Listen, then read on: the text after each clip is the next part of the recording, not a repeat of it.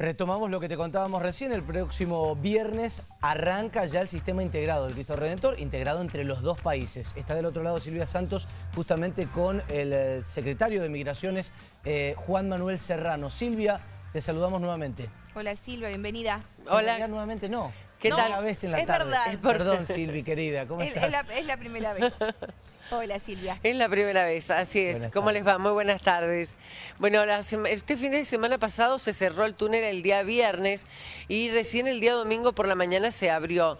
La cosa es que hubo demoras larguísimas de vehículos que intentaban entrar y salir del vecino país de hasta 11 horas. Pues esto no se va a volver a suceder, o al menos es lo que se pretende, teniendo en cuenta que el próximo viernes, 30 de septiembre, a partir de las 8 de la mañana, se abre la aduana integrada. El delegado en Mendoza de la Dirección Nacional de Migraciones, Juan Manuel Serrano, nos va a explicar de qué se trata esto de la aduana integrada. ¿Qué tal, Juan Manuel? Buenas tardes. ¿Qué tal? Buenas tardes. Bueno, básicamente significa volver al sistema que se encontraba funcionando prepandemia. Esto quiere decir que aquellos que se encuentren ingresando a Chile tienen que realizar eh, su control documental y de aduana en la aduana de Libertadores, en el complejo Libertadores, y aquellos que se encuentren ingresando a la Argentina lo tienen que realizar en el complejo Orcones. Ya no será más necesario realizar los controles en ambos complejos de ida y de vuelta, lo que va a permitir reducir notablemente el tiempo. ¿Qué, hubo, ¿Qué necesidades hubo de implementar? ¿Mayor cantidad de gente, mayor cantidad de garitas? ¿Qué hubo que implementar para que esto funcione? Bueno, en realidad este era un, este era un sistema que ya se venía implementando previo a la pandemia obviamente el tiempo de pandemia obligó a desdoblar, a que estuviéramos funcionando eh, doble cabecera, pero lo que se busca básicamente es eh, volver a este, a este sistema que ya ha funcionado y ha funcionado exitosamente, así que esperemos que a partir del 30 de septiembre ya, bueno, ya lo podamos eh, retomar de manera definitiva. ¿Y va a ser también con el horario de las 24 horas? Así es, 24 horas va a estar funcionando, lo que bueno, creemos que va a permitir descongestionar el tránsito, que ya estamos retomando niveles de tránsito ya previos, previos a los, con los mismos números que teníamos en la pandemia. Este fin de semana hubo un gran flujo de vehículos que realmente colapsó por momentos lo que era la aduana, inmigraciones. Eh, se tiene en cuenta que el horario de pasada o de cruce eh, pico es entre las 15 y las 16. ¿Qué recomendaciones le podríamos dar a la gente para que esto no suceda? Porque de igual manera puede volver a pasar. Bueno, eh, lo que recomendamos es que eh, aprovechen todo el rango horario posible, que vayan con tiempo, que vayan con paciencia. Lo que tenemos que agregar es que, eh, como vos bien marcabas, tuvimos un cierre casi todo un día completo, el día eh, finales del día viernes y, todo el día sábado, lo que bueno, obviamente generó una acumulación de vehículos.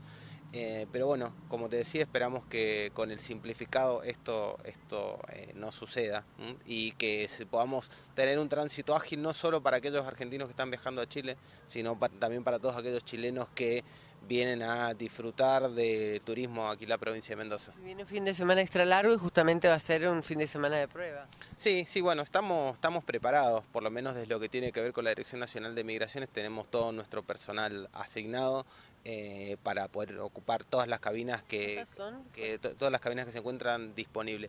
Nosotros hemos estado eh, ocupando los, los, horarios pico, de acuerdo a si es eh, entrada o salida, entre 9 y 10 cabinas hemos estado ocupando en los horarios más, más álgidos, obviamente. ¿Y van a seguir con esa cantidad? Sí, sí, vamos a, vamos a obviamente sostener ese, ese volumen de personal eh, para que bueno tratar de ser lo más eh, expeditivos posible con la gente que, esté retornando al país. También se han flexibilizado los papeles para ingresar a Chile, ese es un condimento también importante para evitar demora. Sí, bueno, antes eh, recordamos que hasta, hasta días previos al 1 de septiembre eran muchos más los requisitos, ahora solamente con la presentación del carnet de vacunación ya se puede eh, ingresar. No importa la... cantidad de vacunas. Exacto, es tener el esquema, por lo menos el esquema completo de dos vacunas, con eso ya es suficiente. Si no se presenta un PCR negativo, pero bueno, sabemos que también la mayoría de la población ya se, ya se ha vacunado. Barbijo es otra de las condiciones. Eso, eso es recomendaciones, digamos, como, como medidas de, de, protección al momento de ingresar al complejo y demás, ¿no? Pero papeleo pertinente. Obviamente lo que tiene que ver con la documentación vigente de las personas y de los vehículos. Eso es solamente lo que está pidiendo Chile ahora. Así es, sí, sí, es como para hacerlo sencillo, es volvemos a una situación previa a la pandemia. ¿Y del lado argentino alguna específica? No, no, también. Estamos en una, en una situación de, de completa normalidad en cuanto a los requisitos sanitarios y en cuanto a los requisitos eh, documentales.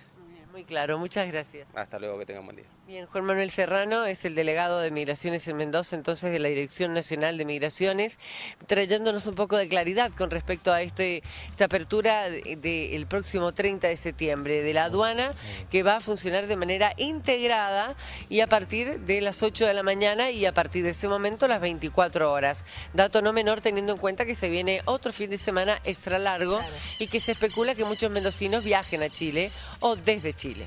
Muy bien, Silvia, estaremos atentos entonces y por supuesto esperando a ver qué pasa este próximo 30 de septiembre, que viernes. Que todo se articule, que la logística funcione y que tengamos, claro, totalmente, un cruce en paz para todos y con menos horas de demora. Gracias, Silvia. Gracias a ustedes.